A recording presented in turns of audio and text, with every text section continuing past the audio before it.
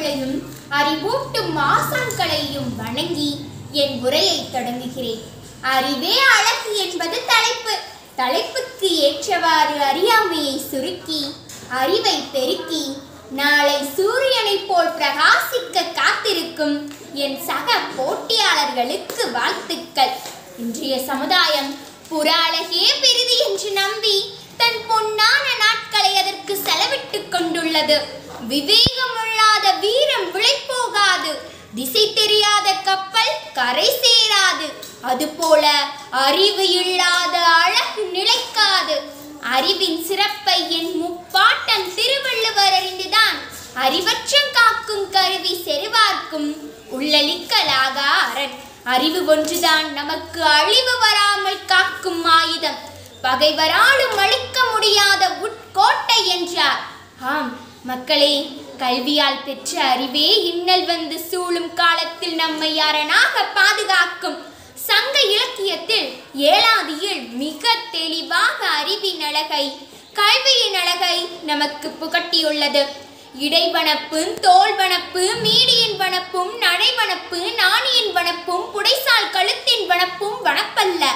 வெண்ணோடெழுத்தின் வனப்பே வனப்பு என்கிறார் கனிமேதா இடை தோல் நடை கழுத்து செல்வம் இவற்றில் இருக்கும் அழகெல்லாம் அழகாகாது.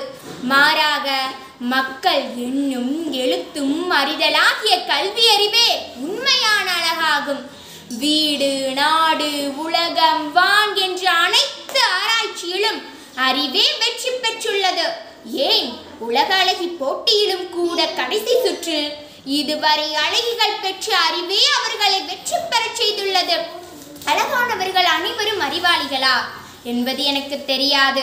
ஆனால் அறிவாளிகள் அனைவரும் அழகானவர்களே. எப்படி தெரியுமா? பெரிய பெரிய மேதைகளின் அறிவு. அவர்கள் எழுதிய புத்தகத்தால் அழகானது. விஞ்ஞானிகளின் அறிவு அவர்கள் கண்டுபிடிப்பால் அழகானது. இன்று இஸ்ரோ விஞ்ஞானிகள் பெற்ற அறிவால் இந்தியாவிற்கும் நம் தமிழகத்திற்கும் அழியா அழகை ஏற்படுத்தி கொடுத்துள்ளது. அறிவு பெற ஒரே ஆயுதம் கல்வி. கல்வியின் மூலமே நிரந்தர அழியா அழகை பெற முடியும். இப்பொழுது நடுவர்கள் நம்மை தேர்ந்தெடுப்பது கூட நம் அறிவு சார்ந்த கருத்துக்களின் செறிவை வைத்துதான் நம் முக அழகை வைத்து அல்ல. இன்னும் சற்று நேரத்தில் அறிவே வெற்றி பெறப் போகிறது. இப்படி வாழ்வில் ஒவ்வொரு இடத்திலும் நாம் பெற்ற கல்வி அறிவுதான் நம்மை முன்னேற்றி செல்ல வழிவகுக்கும். ஒரு மனிதனிடத்தில் உள்ள நல்லறிவையும் பண்பையும் கொண்டுதான் அவர்களை இந்த உலகம் அறிகிறது அப்படிப்பட்ட அறிவை மாணவர்கள் நாம் எப்படி பெறுவது? தொட்டனைத்து ஊறும் மணற்கேணி மாந்தருக்கு கற்றனைத்து ஊறும் அறிவு. மணற்கேணியில் தோண்ட தோண்ட நீர் ஊறுவது போல கல்வி கற்க கற்க நம் அறிவு வளரும்.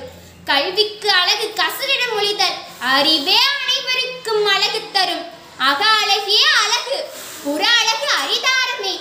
அறிவாளிகள் அதிகம் பேசுவதில்லையாம். என்று வாய்ப்புக்கு நன்றி கூறி விடைபெறுகிறேன். நன்றி வணக்கம்.